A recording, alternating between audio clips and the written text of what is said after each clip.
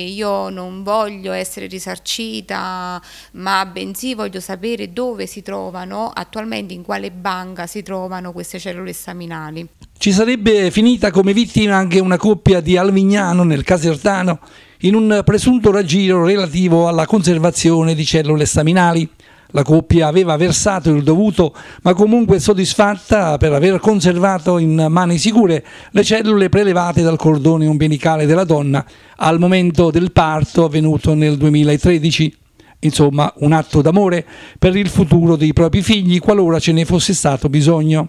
Il prelievo viene effettuato nell'azienda ospedaliera di Caserta, ma poi la coppia da quel momento in poi si affida ad una società esterna con sede anche in Svizzera per conservare le proprie cellule. Da qui inizia il calvario. Siamo ad Alvignano, in provincia di Caserta, nell'Alto Casertano, dove eh, si trova la famiglia che è stata probabilmente, diciamo ancora probabilmente truffata per quanto riguarda la vicenda delle staminali. Noi cerchiamo stamattina, cercheremo di andarla a sentire per farci spiegare meglio come stanno le cose.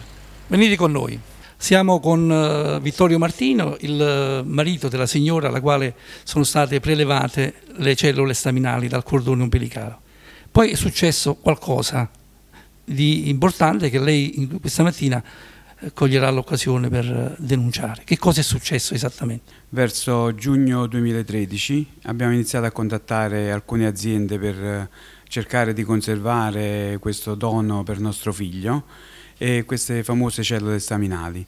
Eh, abbiamo contattato questa azienda che credevamo che fosse una delle più serie e niente, alla fine abbiamo fatto tutto l'iter burocratico che c'era da fare, abbiamo recuperato questo cordone ombelicale quando è nato nostro figlio nel dicembre 2013 e è avvenuta la conservazione. Diciamo, eh, il parto è venuto presso... Mia moglie ha partorito presso l'ospedale di Caserta. Ovviamente l'azienda ha solo fatto il prelievo. Poi i medici sono usciti di scena, non c'entra più nessuno per quanto riguarda l'ospedale. Quindi a quel punto voi vi siete rivolti ad una società esterna. Sì, in effetti noi dietro il pagamento di un ticket che regolarmente abbiamo la ricevuta, abbiamo fatto prelevare le cellule dalla dottoressa di turno in quel momento e abbiamo consegnato un kit a una persona inviata dalla Dopodiché abbiamo iniziato a fare i pagamenti regolarmente e come abbiamo terminato. Quanto, quanto avete pagato esattamente? Si può dire questo? Credo che siamo intorno ai 4.500 euro. Quindi, ma eh, diciamo che la cosa importante in questo momento non sono neanche i soldi che sono stati spesi per nostro figlio, in quanto eh, noi ehm, vorremmo sapere soprattutto dove sono andate a finire queste cellule di nostro figlio. Ma come nasce il dubbio? Il dubbio è nato un po' di tempo fa, circa un, tre settimane fa, sentivo parlare eh, vagamente in tv qualche cosa proprio di accenno e eh, riferì a mia moglie di iniziare a telefonare i famosi numeri che noi avevamo. Que, quegli stessi numeri che normalmente erano pure molto cordiali quando voi chiamavate per fare i versamenti, per avere informazioni. Poi improvvisamente poi improvvisamente questi numeri sono stati tutti muti, non, non rispondevano più, eh, non esistevano più soprattutto, neanche nelle email che noi avevamo come informazioni per chiedere informazioni e per avere informazioni da loro e non, non si sapeva nulla. Le email eh, tornano indietro, quindi ci siamo un pochettino iniziati a preoccupare seriamente ma ripeto, non tanto per i soldi che sono stati spesi, ma per sapere queste cellule di nostro figlio e dove sono andate a finire. La signora Maria Luisa, ecco, come state vivendo questa situazione?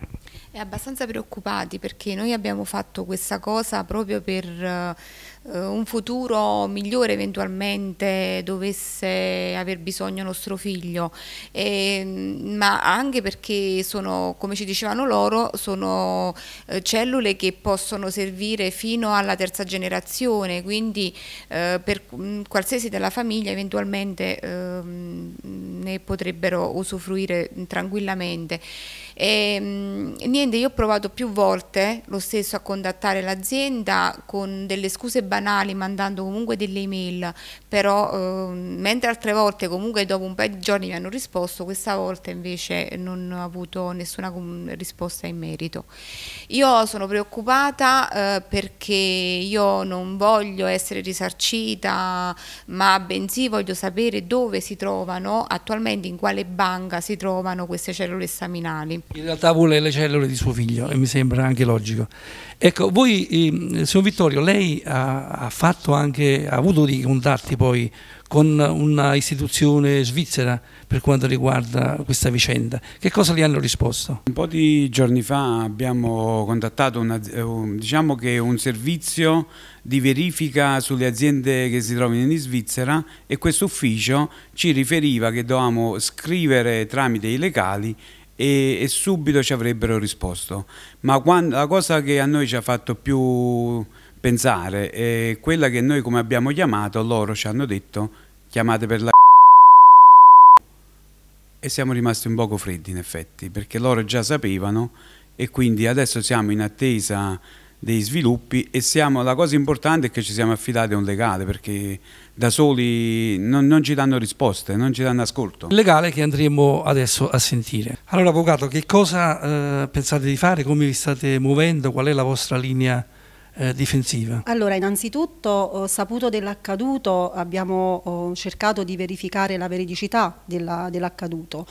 Abbiamo iniziato a prendere contatti con delle autorità svizzere che purtroppo ci hanno dato elementi utili per confermare eh, l'amara notizia e quindi di conseguenza abbiamo, ci siamo subito attivati per formulare una denuncia, una denuncia a carico e a danno non solo di soggetti esteri ma anche di soggetti italiani, perché non dobbiamo dimenticare che i primi contatti e i rapporti sono stati intrattenuti con soggetti italiani.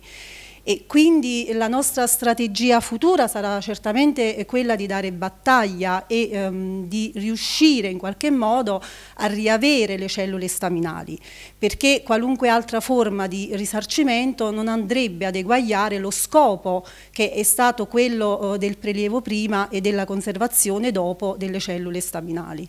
Da Alvignano è tutto, Lorenzo Applauso per casertasera.it.